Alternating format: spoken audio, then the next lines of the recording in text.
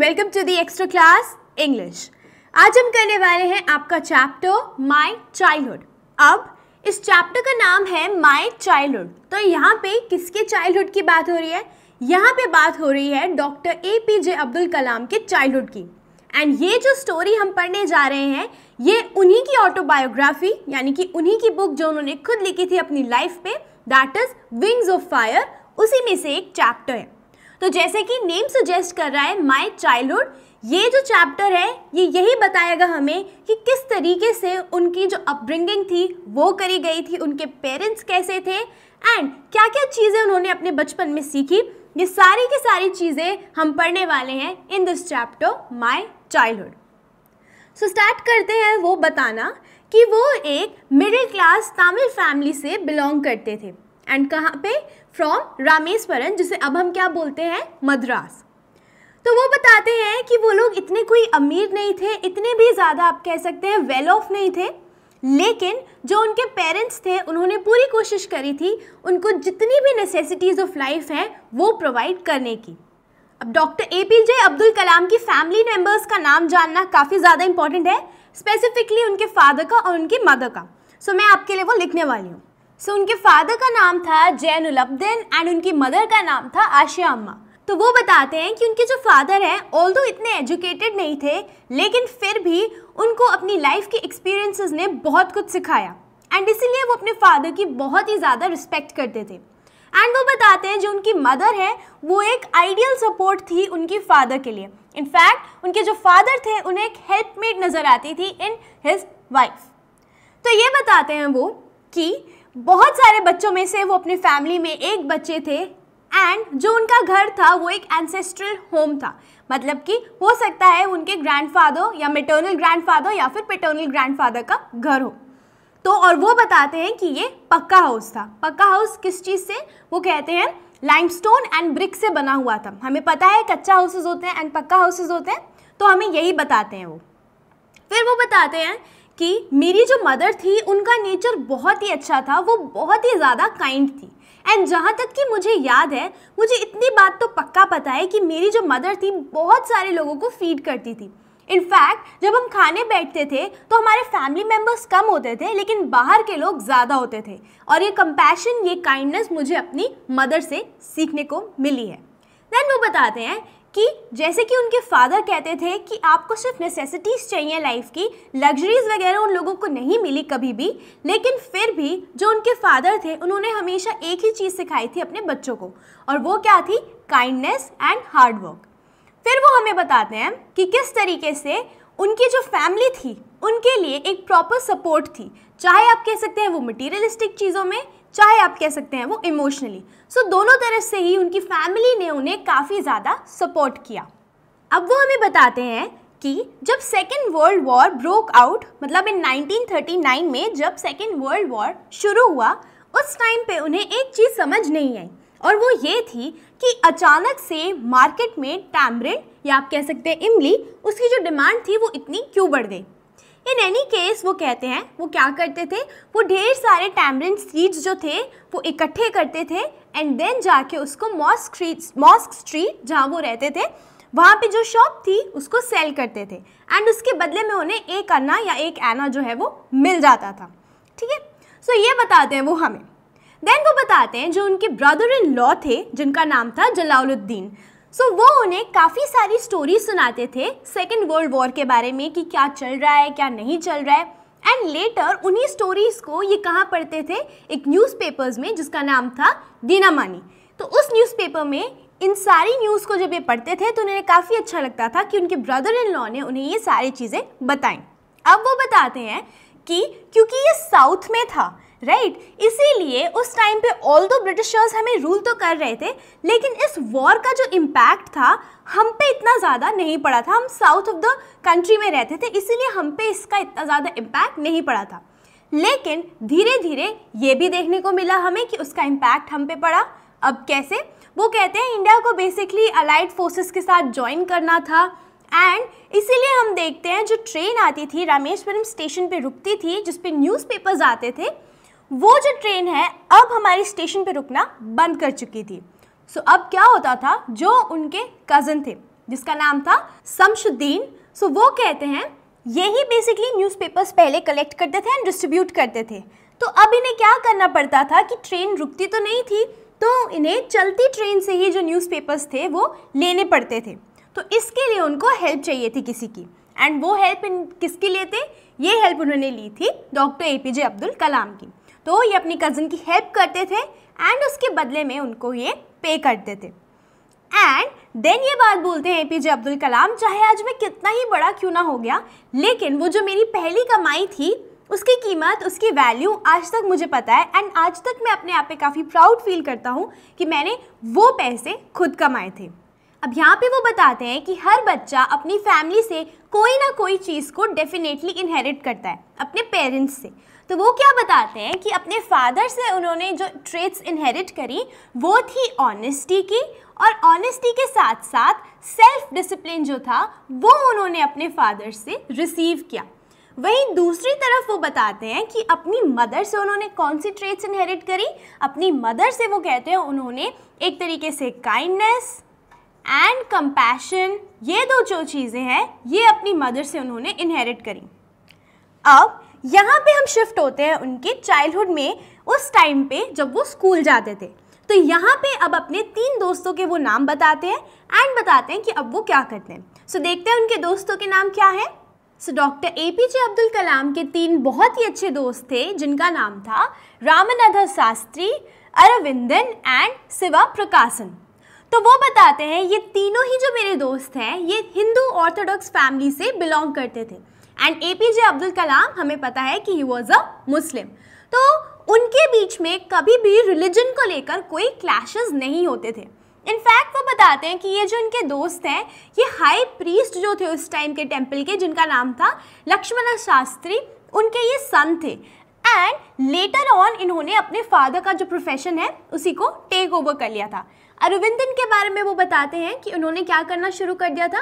Basically वो एक तरीके से अरेंज करवाते थे ट्रैवल उन लोगों के लिए जो पिलग्रमेज पे जाते थे या आप कह सकते हैं रिलीजियस यात्राओं पे जाया करते थे। एंड थर्ड वो बताते हैं शिवा प्रकाशन के बारे में कि उन्होंने सदर्न रेलवेज के साथ केटरिंग का जो काम था वो शुरू कर दिया था। तो वो बताते हैं कि ये जो तीन दोस्त थे, ये काफ़ी ज़्यादा क्लोज थे, एक साथ थे। एंड अब वो बताते हैं जब एनुअल सेरेमनी होती थी, किस चीज़ की? श्री राम सीता कल्याणम सेरेमनी तो जब ये सेरेमनी हुआ करती थी तो जो उनकी फैमिली थी, उसका क्या काम था? वो बोट्स प्रोवाइड करती थी विद अ स्पेशल प्लेटफॉर्म और वो प्लेटफॉर्म किस चीज़ के लिए? क्योंकि जो आइडल्स होते थे, जो आप कह सकते हैं, जो मूर्तियाँ होती थी, उनको ले जाना होता था टू द मैरिज साइट ठीक है? इसीलिए वो क्या करती थी? बोट्स प्रोवाइड करती थी स्पेशल जो कि इन आइडल्स को कैरी करके ले जा सकती थी.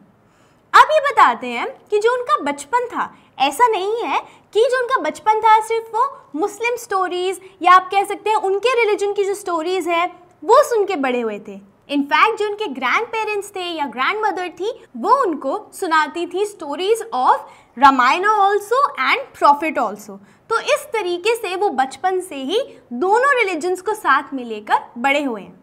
देन वो बताते हैं, एक दिन एक बहुत ही अजीब इंसिडेंट हुआ। वो फिफ्थ क्लास में थे और अपने दोस्त के साथ, जो कि राम नधाय उसके साथ वो फ्रंट रो में बैठे हुए थे। अब उस दिन क्लास में एक न्यू टीचर आए।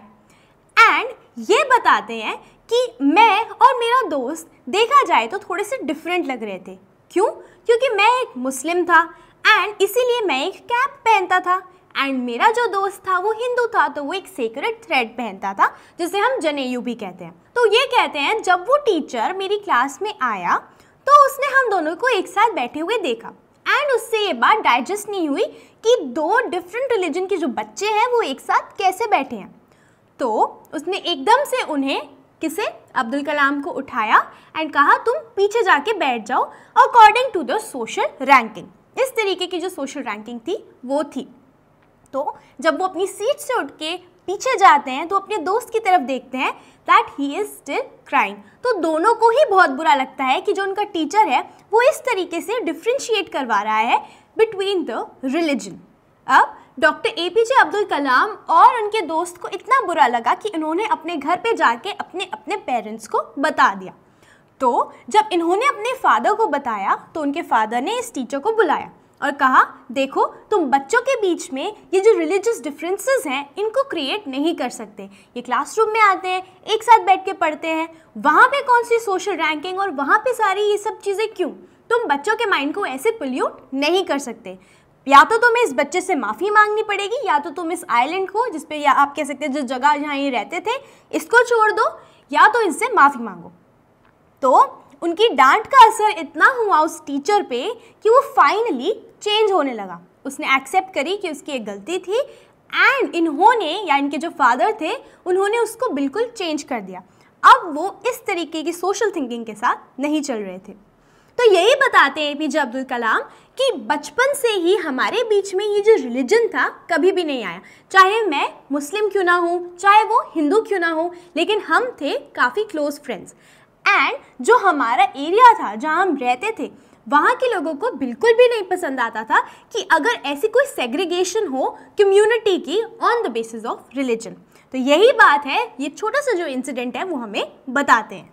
अब वो अपने साइंस टीचर के बारे में बताते हैं, जिनका नाम है शिवा सुब्रमण्यम अय्यर। तो उनके बारे में वो बताते हैं कि वो उनके साथ जब बैठा करते थे तो उनको एक ही बात कहते थे वो कहते थे, कलाम, मैं चाहता हूँ तुम इतने ज़्यादा डेवलप करो जितनी आजकल ये जो एजुकेटेड सिटीज़ हैं, वहाँ के लोग डेवलप्ड हैं। एंड जब तुम इस तरीके से डेवलप करोगे कि जितने भी डिफरेंसेस हैं, वो डेफिनेटली पीछे रह जाएँगे। वो बताते हैं कि जो उनके साइंस टीचर हैं, वो बिलोंग करते थे एक ब्राह्मण ऑर्थोडॉक्स फैमिली को और उनकी जो वाइफ थी, वो भी काफ़ी ज़्यादा कंजर्वेटिव तरीके की थिंकिंग की थी। एंड वो कहते हैं, लेकिन उनके जो साइंस टीचर थे, वो ऐसे नहीं थे, वो एक रिबेल टाइप्स थे। वो इन सब चीज़ों के बारे में नहीं सोचते थे। एंड इसीलिए एक दिन उन्होंने उन्हें खाने पे इनवाइट किया। एंड जब वो उन्हें इनवाइट करते हैं तो जो उनकी वाइफ है, वो काफ़ी ज़्यादा डिस्टर्ब हो जाती है इस फैक्ट से कि वो एक मुस्लिम लड़के को अपने घर में, अपने किचन में बैठ के खाना कैसे सर्व करें या खाना कैसे खिलाएँ। तो वो उन्हें खाना सर्व नहीं करती। तो वो कहते हैं, जो उनके साइंस टीचर थे, उन्होंने अपनी वाइफ पे गुस्सा नहीं किया, ना ही कुछ कहा। इनफैक्ट उन्होंने अपने हाथों से जो खाना था, वो अब्दुल कलाम को परोसा एंड उनके साथ बैठ गए खाना खाने के लिए। एंड जो उनकी वाइफ थी, वो पीछे से छुप के देख रही थी कि ये दोनों कैसे खाना खा रहे हैं। एंड डॉक्टर अब्दुल कलाम ये सोचते हैं कि मुझे समझ नहीं आया कि वो ऐसा क्यों कर रही थी।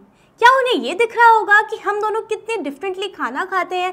या हमारा जो खाना खाने का तरीका है वो अलग है? ये वो कहते हैं कि ये सारी चीज़ें अगर हमारा रिलीजन अलग होता है तो ये सारी चीज़ें भी डिफरेंट होती हैं? तो वो ये कहते हैं कि जब मैं जा रहा था तो मेरे जो साइंस टीचर हैं, उन्होंने ऑब्ज़र्व किया कि मैं थोड़ा अनकम्फर्टेबल हूँ।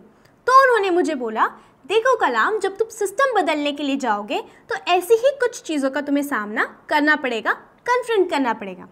अब वो कहते हैं, जब अगली बार उन्होंने मुझे डिनर के लिए इनवाइट किया तो जो उनकी वाइफ थी, उन्होंने खुद उनको खाना सर्व किया।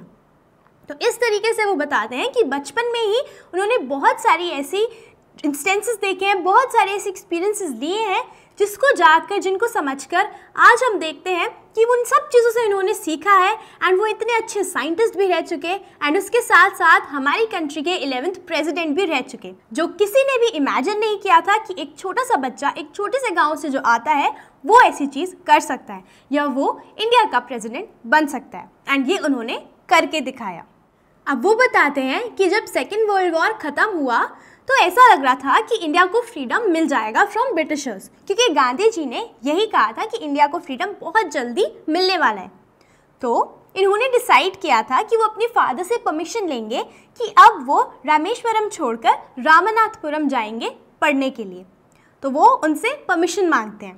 एंड उसके बाद जो उनके फादर कुछ चीज़ें या कुछ लाइंस को कोट करते हैं वो काफ़ी ज़्यादा इंपॉर्टेंट है। सो so, चलिए उनका मतलब समझते हैं। तो ये कुछ इंपॉर्टेंट लाइंस हैं जो उनके फादर हैं, वो उन्हें कहते हैं। वो कहते हैं, अबुल, मुझे पता है कि अगर तुम्हें ग्रो करना है, तुम्हें डेवलप करना है तो तुम्हें जाना ही पड़ेगा। क्या कभी ऐसा होता है कि कोई जो सीगल है, वो अपने नेस्ट में ही रहता है और वो उड़ना सीख जाए? ऐसा तो पॉसिबल नहीं है। हर सीगल को या हर बर्ड को अपना नेस्ट तो छोड़ना ही पड़ता है है ना? तो यही लाइन्स है, वो बोलते हैं अब्दुल कलाम को। एंड देन वो कहते हैं कि उन्होंने मेरी जो हेजिटेंट मदर है यानी कि जो उनकी मदर है उनको शायद कहीं ना कहीं ऐसा लग रहा होगा कि ये जो मेरा बच्चा है मुझसे दूर चला जाएगा पढ़ने के लिए। एंड जब उनके हस्बैंड ने इस चीज़ को सेंस किया तो उन्होंने खलील गिब्रन का एक बहुत ही फ़ेमस आप कह सकते हैं लाइंस हैं पोइट्री की उनको कोट किया। एंड ये उनकी जो पोइट्री है योर चाइल्ड या योर चिल्ड्रन उसमें से ये जो लाइंस हैं वो उन्होंने कोट करी। सो so, इन लाइंस का मतलब क्या है? जैसे हम देख सकते हैं वो उनकी मदर को बताते हैं कि तुम्हारे बच्चे तुम्हारे बच्चे नहीं हैं। हाँ ये बात बिल्कुल ठीक है कि ये तुम्हारे थ्रू आए हैं, लेकिन ये तो लाइफ की डिज़ायर है, ये तो लाइफ के ही बच्चे हैं। एंड इसका मतलब ये नहीं हुआ कि अगर तुमने उन्हें बर्थ दिया है तो ये बच्चे जो हैं, वो तुम्हारे हो गए। ये लाइफ के ही बच्चे हैं। एंड तुम उन्हें प्यार कर सकती हो, लेकिन तुम उन्हें अपने थॉट्स नहीं दे सकती। तुम उन्हें सीखना या तुम अपने आप की जो थिंकिंग है उन पर इन्फोर्स नहीं कर सकती। क्यों नहीं कर सकती? क्योंकि उनके अपने थॉट्स उनकी अपने आइडियाज़ होते हैं। सो so, यही चीज़ें हैं जो वो अपनी वाइफ को बताते हैं या डॉक्टर अब्दुल कलाम की जो मदर हैं उनको जो उनके फादर हैं वो बताते हैं। एंड ये काफ़ी ज़्यादा ज़रूरी है समझने के लिए कि किस तरीके से doctor A P J Abdul Kalam की जो फैमिली थी उनके लिए कितनी ज़्यादा सपोर्टिव थी। सो मच सो दैट उनके फादर ने इस चीज़ को ज़रा भी नहीं सोचा एक बारी भी कि मेरे बच्चे को मुझसे दूर जाना पड़ेगा पढ़ने के लिए। उन्होंने इनफैक्ट उनको, जैसे अब्दुल कलाम ने बताया मटीरियली के साथ साथ इमोशनली भी सपोर्ट किया। मटीरियलिस्टिक एंड इमोशनल सपोर्ट जो था, उनकी फैमिली ने उनको प्रोवाइड किया।